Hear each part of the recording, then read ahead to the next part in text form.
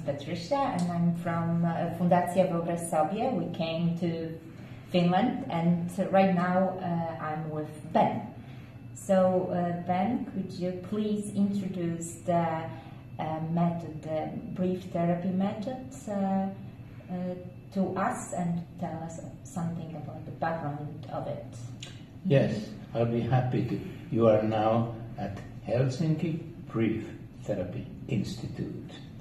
So this is the headquarters where we have been teaching uh, solution-focused psychology to professionals, to therapists, to counselors, teachers, even parents, for many years, for 40 years.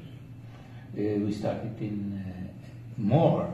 We started in uh, 86, no, like almost 40 years.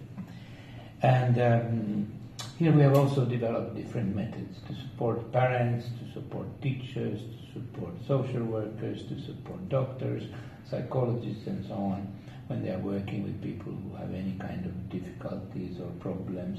And these days, people really have a lot of mental health problems. So we have depression, we have school refusal, we have anxiety, we have so many mental health problems.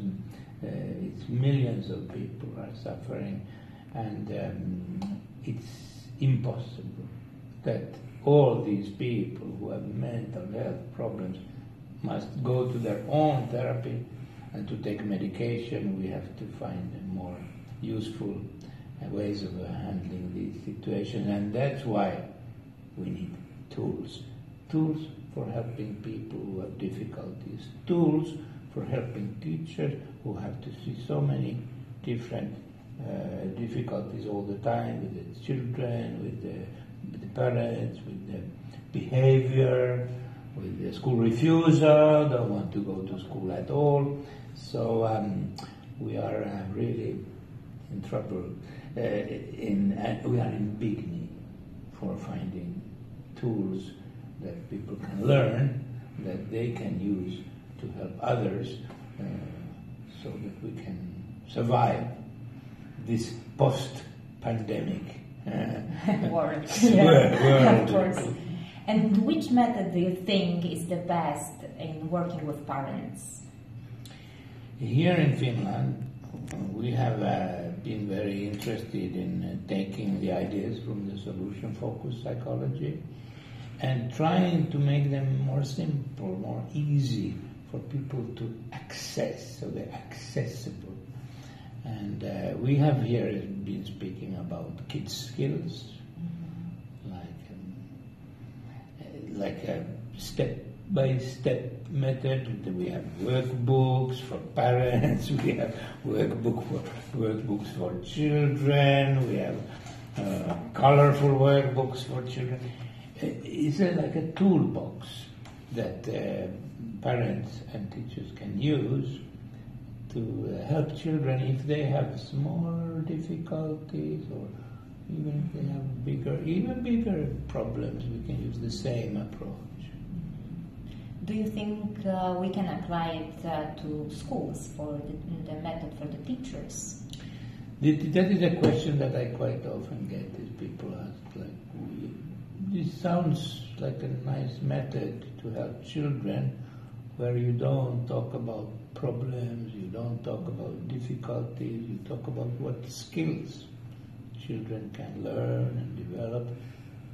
The children uh, want to learn skills. They are uh, they are happy to think about what skills I can develop. But many teachers are then saying that, uh, yeah, it's a nice method, but uh, look, 25 children in my class, I have 32 children in my class, I have 50 children in my class. I don't have time for doing this kind of work. Do you have anything that we can do with the whole class? So uh, over the years we have developed some ideas, also learned from teachers who have written to us that they have they work with the whole class, and then uh, it's a little bit different because now it's like the whole class participates in a project, Okay. and we call it skill skillful class. Skillful they, class. They learn, they learn social skills, but very importantly, they learn social skills by helping each other, so they are supporting each other in learning school skills and social skills, and and friend, friend, friend skills. Thank you so much for the conversation. It was we had a great time here. We spent uh, a week here, so it was really great. Thank you so much. Thank you, thank you for coming. And fit it into DeepL or some other translator program. and you get the translation, then you make the corrections, and you send it back, and I put it. But when you get the file for for the text subtitles,